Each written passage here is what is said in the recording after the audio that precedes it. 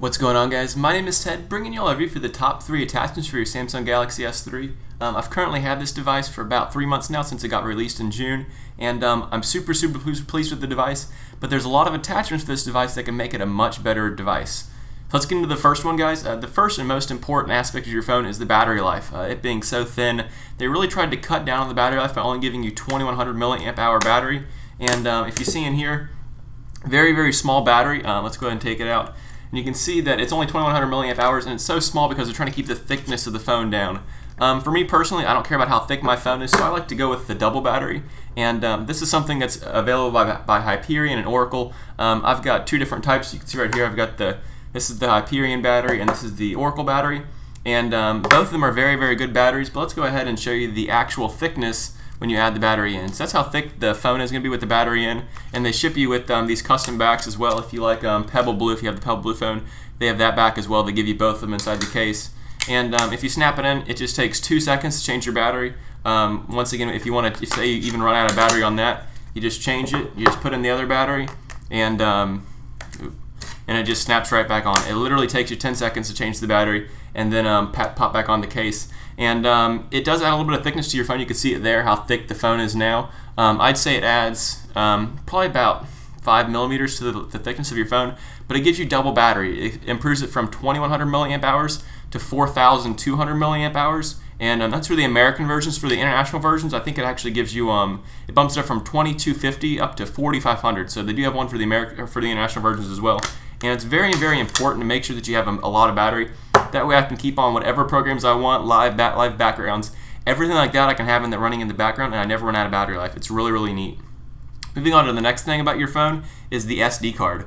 So a lot of people just run with the, they'll pay the extra $50 or whatever to upgrade uh, the memory to 32 gigabytes. And that's cool and all, and you get a lot of phone storage. But the little magic device called the SD card is so, so cool. The micro SD card can hold up to 64 gigabytes. As you can see, mine's running 32. Um, it's just to save money. Um, the 64 gigabyte micro SD cards give you 64 gigabytes of memory. That's more space than you could ever use, I, I, at least in my opinion, on a phone. You must have a lot of photos or videos or a lot of music to get up to 64 gigabytes of space.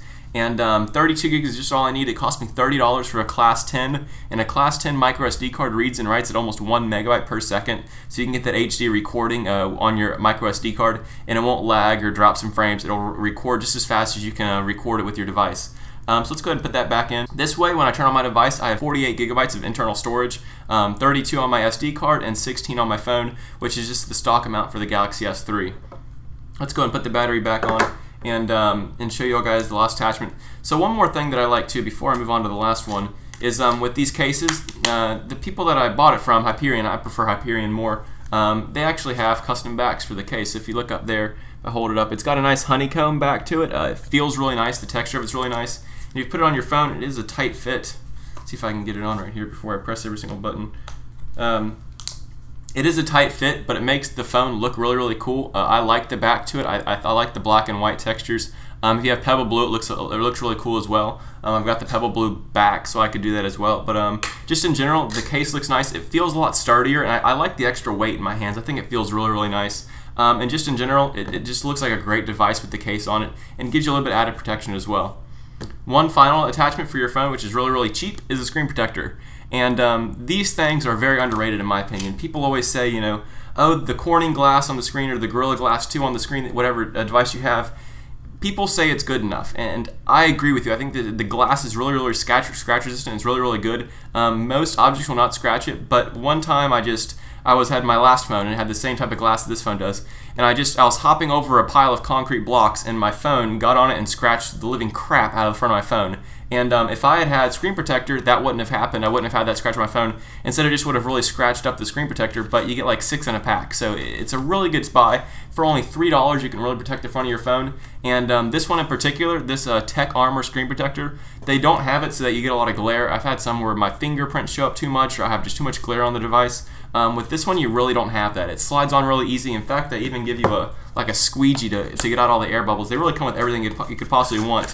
Um, they give you a squeegee right here, as well as a um, as well as this thing to clean off your screen, a little felt thing to clean off your screen first. Um, and I'm not being endorsed by these people. I'm just giving you an honest review. I've looked up a lot of screen protectors, um, a lot of extended batteries, and Hyperion is my personal favorite. Um, I'll do a close up right there so you can see it, see the thickness of it right there. Um, and that's about it, guys, as far as three bus attachments. Once again, you got the micro SD card, which is um, gives you extra internal storage. It's just really nice, and you don't have to pay so much money to upgrade your internal storage through them. Um, it costs them like they'll charge you like fifty dollars if you buy it from the store, like T-Mobile or whatever, to give you a 32 gigabyte built-in storage. Whereas this one you can get 16 by default and an extra 32 for half the price. So you get more storage for half the price. I think that's a pretty good deal in my opinion. Um, and that's that. You get the case as well with the extended battery. You can really juice up your phone and have a powerful device that will last you a long, long time. So anyways, guys, I hope you enjoyed this review. I hope you have some other attachments that you like. Leave them down below. I'm interested in all kinds of fancy attachments. I'll do more reviews and I'll buy more products if I hear that there's something else out there that maybe I've missed. So leave your comments down below. Let me know what you think about this. I'll leave links to where you can buy these products down below in the description. And I'll catch you guys later. Bye.